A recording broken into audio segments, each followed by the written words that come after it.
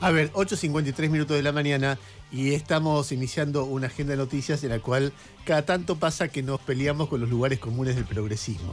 Eh, esto no significa que nosotros tengamos razón en las cosas que vamos a decir, pero sí que por lo menos escúchenos algunas cosas que, por lo menos con nuestra formación, con nuestra la vida que tenemos, tenemos algunas cosas para decir lo que está pasando. El primer tema. Hoy hay paro docente en solidaridad por la represión en Jujuy. Hace un rato, eh, primero en Buenas tardes China, después cuando arrancamos el programa, Jairo dijo algo respecto de esto que me gustaría que escuchen, así se pelean con Jairo además de pelearse conmigo. Adelante Jairo Stracha. No, sí, el eh, tema que estamos hoy contando es el paro nacional docente. Ayer hubo paro solo en la ciudad de Buenos Aires, eh, también de uno de los gremios de la ciudad y confluye esto que está vinculado con la idea de solidaridad con lo que pasa en Jujuy, con una situación que yo registro es permanente charla en mi familia, en los grupos de padres de los que mandamos chicos a, en este caso, la escuela pública de la ciudad de Buenos Aires, pero el fin de semana estaba hablando con un amigo eh, que manda a los chicos a la escuela pública en la provincia de Buenos Aires, que habían tenido dos días de paro la semana anterior, eh, este, también en ese contexto, donde había habido un día de paro en la ciudad la semana pasada también, y cuando vos empezás a pasar en limpio, eh, la idea de que lo que va del año yo contabilizo, si no me equivoco, 10 días de paro en la ciudad de Buenos Aires concretamente, eh, donde los motivos han sido mm, reclamos salariales, eh, problemas edilicios, eh, la cuestión de la ola de calor, la presencia de ratas, el rechazo de denuncias de abusos de padres que fueron investigados por la justicia y que eran consignadas de denuncias indebidas por los gremios, más la solidaridad en su momento con Chubut y lo que pasa ahora con Jujuy. Hay un punto que empieza por lo menos a hacer una pregunta de, che, eh, no tenemos una semana completa de los pibes yendo a clase eh, y, eh, te preguntás cómo haces para que enganchen la continuidad de lo que están aprendiendo. si tenés la manera de resolverlo, no es un tema, pero mucha gente no tiene la manera de resolver dónde van los pibes para que el padre vaya a trabajar, porque una vez lo puede resolver, dos veces lo puede resolver, pero diez veces aparece como un problema muy recurrente en tan solo este, seis meses y pico de. o no, cuatro meses, empezaron en febrero las clases, en tan solo cuatro meses de clase. Eh, todo eso empieza a ser un cuestionamiento eh, a, algo que aparece en las charlas con gente que eh, elegimos mandar los pibes a la escuela pública, básicamente por la mezcla, por lo que ahí aparece, porque en la idea de que la educación se completa cuando van a ir a inglés, van a ir a computación, van a tener otros lugares si vos los podés sostener, el que no tenga quiero ver cómo, lo mejora, este, pero vos decís, bueno, yo sé que puede haber problemas de contenido, que si la maestra es buena va a estar bien la clase, si la maestra es más o menos lo que lo peleas. Pero valoro la integración. Pero a mí me interesa que hay una mezcla que yo, en, cuando me pasé yo por la escuela privada o ha pasado gente que conozco por la escuela privada, no aparece esa mezcla. A mí me interesa esa mezcla de la reunión de padres, donde hay alguien que está este, más arriba en la escala social, alguien que está más abajo y que va a jugar a una casa que no es como la casa de él. Para mí eso tiene un valor.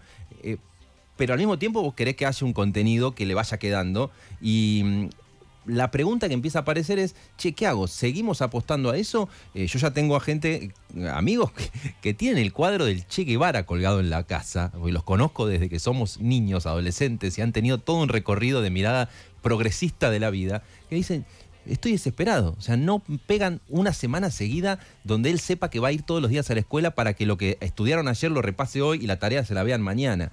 Y esa idea de, me parece que la semana que viene, eh, que el año que viene los voy a empezar a, preguntar a ver cuánto me sale una escuela privada, me come la cabeza eh, por la falta de perspectiva, no como que sean los principales responsables de la situación de degradación de la educación pública, pero sí de ante la repetición de la misma herramienta que no haya un registro de que eso puede terminar expulsando gente de la escuela pública y jugándole en contra a la escuela pública que hay que defender. Esa idea me come la cabeza y veo que es un tema muy presente, un debate muy fuerte, que tal vez algunos dirán bienvenidos a la discusión ahora que tenés pibes en la escuela. Puede ser que te cambie la perspectiva a medida que vas este, eh, teniendo pibes en la escuela, pero no aparece como discusión. Recién un rosarino me decía, no hubo un paro de setera nunca por las 36 balaceras a escuelas en Rosario. Yo decía, para, ¿y cuál es la, este, la vara? entonces, sí, porque Chubut sí. Entonces aparece, bueno, ¿y cuánto juega la la política y ya te suman más preguntas eh, sobre un círculo que una vez leía a Guillermina Tiramonte, especialista en educación, que decía, hay un círculo muy difícil de romper.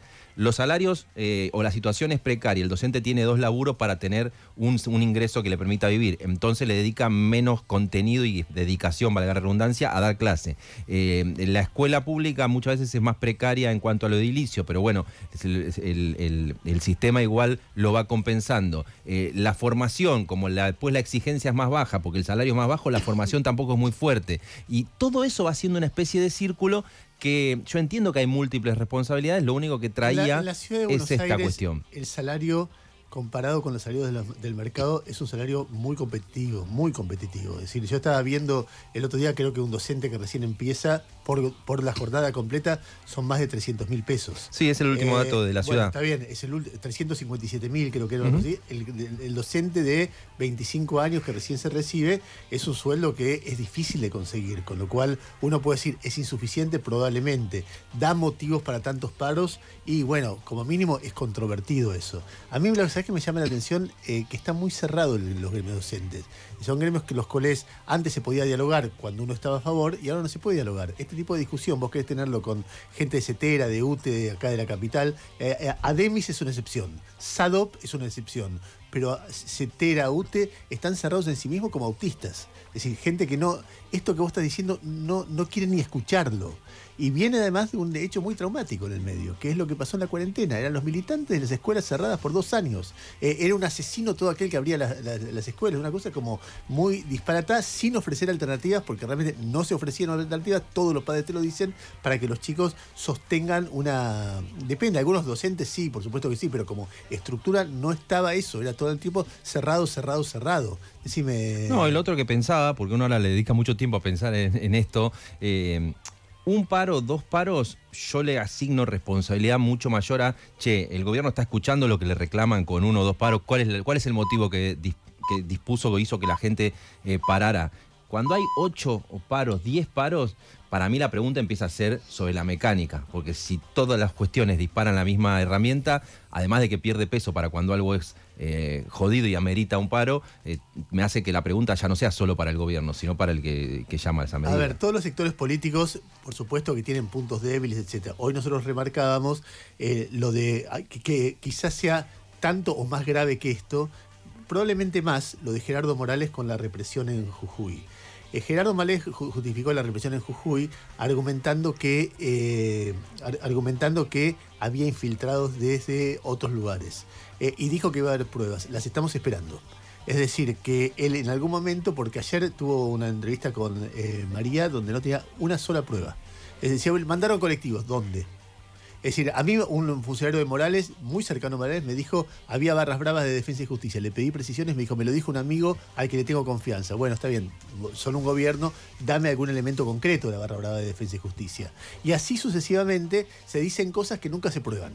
Entonces, eh, si vos pensás que hubo gente de Buenos Aires, no, digo dirigentes de eh, tal agrupación o tal agrupación, sino gente tirando piedras, incendiando legislaturas, llegando en colectivos con palos, con armas, algo de eso mostrame una foto, un diálogo, algo que sea taxativo, categórico, porque si lo dijiste es porque lo sabías. Y entonces tenías las pruebas. Ahora, si no lo, si lo, lo dijiste y no puedes presentar las pruebas, estuviste tirando para justificar un hecho represivo algo que era mentira. O sea que vos no lo sabías y empezaste a agitar fantasmas.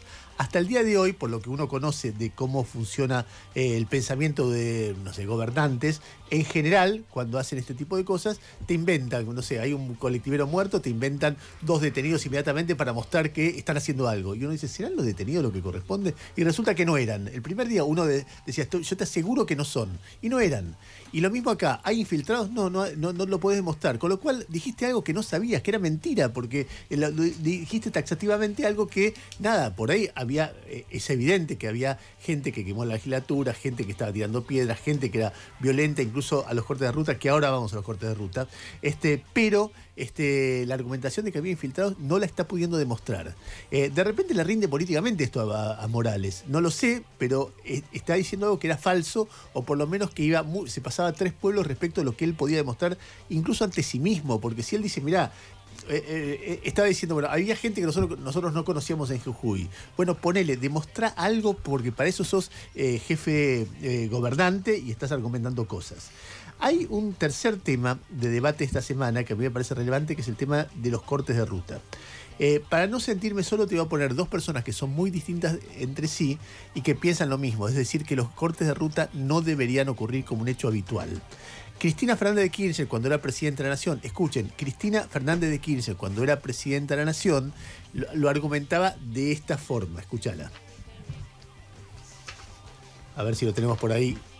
Todo el mundo tiene derecho a protestar, pero no cortando las calles impidiendo que la gente vaya a trabajar y no, no complicándole la vida al otro. Creo que vamos a tener que legislar sobre una norma de respeto y convivencia urbana. Aunque no estemos de acuerdo con nada, por favor, en el respeto a los demás ciudadanos, pongámonos de acuerdo de una buena vez por todas. Es lo único que les pido. Este, en el audio 40, eh, Elisa Carrió eh, da su posición respecto a esto. Escucha. Perdón, Gerardo. El 90% de la provincia de Jujuy está de acuerdo con esta norma. Después se analizará la reglamentación. Y yo misma como constitucionalista, después podemos hablar de los piquetes, porque yo fui al primer piquete de la Argentina que es Cutralcó, año 96, porque me llaman la gente que después dio lugar al, al movimiento, creo que de Teresa Rodríguez. Entonces vamos a ver cómo esto se fue, pero él es el único que tiene, que tuvo la valentía y el coraje de, sacar a una, a una provincia que estaba secuestrada en sus rutas y que estaba secuestrada en Jujuy. Eh, y luego habla de los piquetes en particular, escucha. Yo creo que la mejor forma de contribuir a la paz social es impedir el corte de, rutas de circulación de la gente que trabaja. Porque si no hay un choque entre trabajadores y de los, los que cortan. Eh, a ver, de nuevo, Cristina Kirchner y Elisa Carrió diciendo lo mismo no hay que poner algún límite a esto.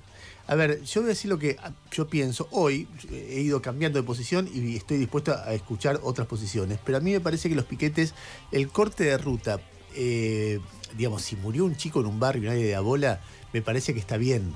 Eh, son unas horas, no es por tiempo indefinido y bueno, hay un hecho que es tremendamente violento. Si de repente una represión que hubo cinco muertos, bueno, se justifica por la conmoción que se genera. Pero hace un ratito miraba C5N que estaba promocionando el, conflicto en Jujuy, porque eso es lo que está haciendo, este, y mostraba como algo elogioso un corte de una ruta muy importante. Había ocho personas de un lado con tres neumáticos haciendo humo y ocho personas del otro. O sea, hay 16 personas que traban la circulación de una provincia. Eh, ¿Y por qué? Porque están en contra de una constitución votada por la mayoría. Será injusta, será mala, será una porquería, será, pero es una constitución votada por el radicalismo, el peronismo. decir, ¿por qué cortan la ruta de esa manera?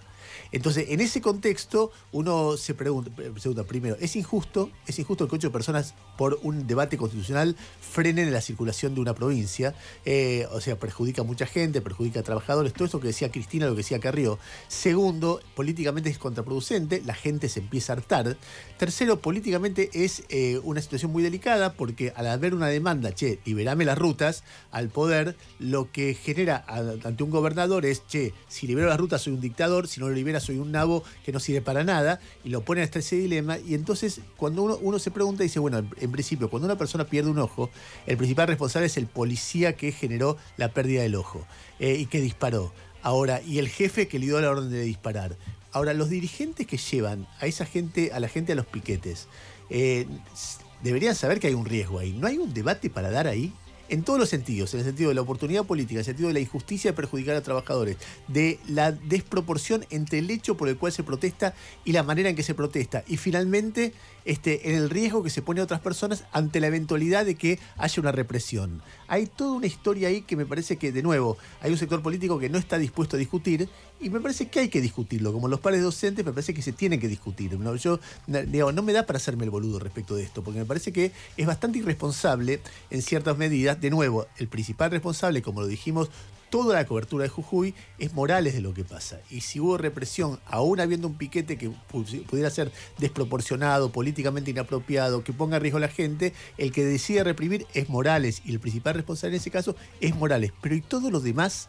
¿No habría que discutirlo? Bueno, escuchemos voces eh, respecto de todo lo que está pasando. Hay una docente jujeña, Mercedes Sosa, del Centro de Docentes de Enseñanza Media y Superior, que explica cuánto ganan los docentes en Jujuy.